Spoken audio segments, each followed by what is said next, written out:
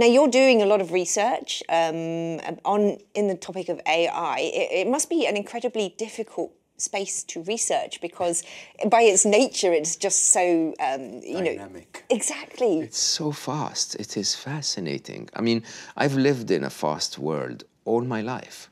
I've never seen anything like this. It's almost impossible to keep up. I, I put three to four hours a day every single day, and I, I, simply cannot keep up. I think we've opened Pandora's box in every possible way. Uh, In, in, in every tech, uh, it's not unusual. huh? It's just the pace is very different. In every tech I've ever participated in developing, you know, including the days of, of Google X, where we built incredible technologies, there is a moment of what we normally refer to as the breakthrough moment. So you found the tech, right?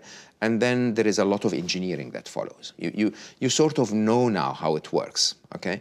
But then you have to engineer it and put it together and try it and then miniaturize it and, you know, improve power efficiencies and do this and do that and so on. Uh, and, and, you know, we're used to this in tech. We call it the, the, the, the, the law of accelerating returns, that once you've got it and it's now working, every 12 months almost, you know, compute will double or every, and, and so on. There, are- there are almost ru- clear rules like Moore's law and so on and so forth, uh, where you know that, that you're going to follow an exponential curve. The challenge with AI is that this exponential curve is seen to be 5.7 months. We double in power every 5.7 months, but it feels even quicker. Okay, and and you know it it is. We haven't even included things like quantum computing becoming part of the back end, which is a few years away. Um, you know, we haven't included any other new breakthrough.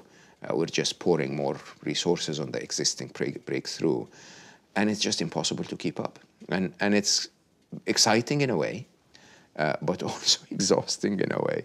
Um, and I think the only way I will eventually be able to keep up is to use an AI to keep up with it, and then tells me what I need to be aware of.